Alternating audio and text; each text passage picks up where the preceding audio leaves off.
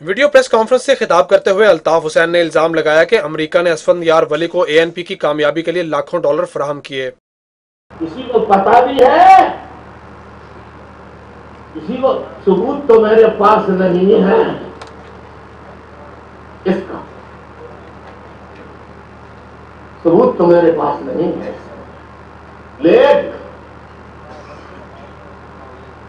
اطلاعات مصدقہ پانی میرے پاس موجود ہے۔ ثبوت اداروں کے پاس ہوگا کہ گزشتہ الیکشن میں اے این پی کو جتانے کے لیے امریکہ نے کئی ملین ڈالر اسپندر یار ولی کو دیے تھے۔ الطاف حسین کا کہنا تھا کہ وہ پختونخوا کے خلاف نہیں ہیں۔ کراچی میں پختون لیڈر پختونوں کو گمراہ کر رہے ہیں کہ ہم پختونوں کے خلاف ہیں۔ وہ پختون جن کو میں جانتا نہیں، میں کبھی ملا نہیں، کبھی دیکھا نہیں۔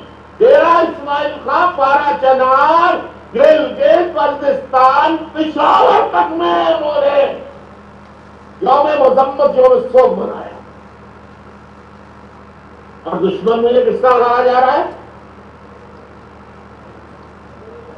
پختون میں پختونوں کا دشمن نہیں۔ میں نے انیس سو چھیاسی میں فائل دلیر میں کہتا ہوں یس میں دلیر آدمی ہوں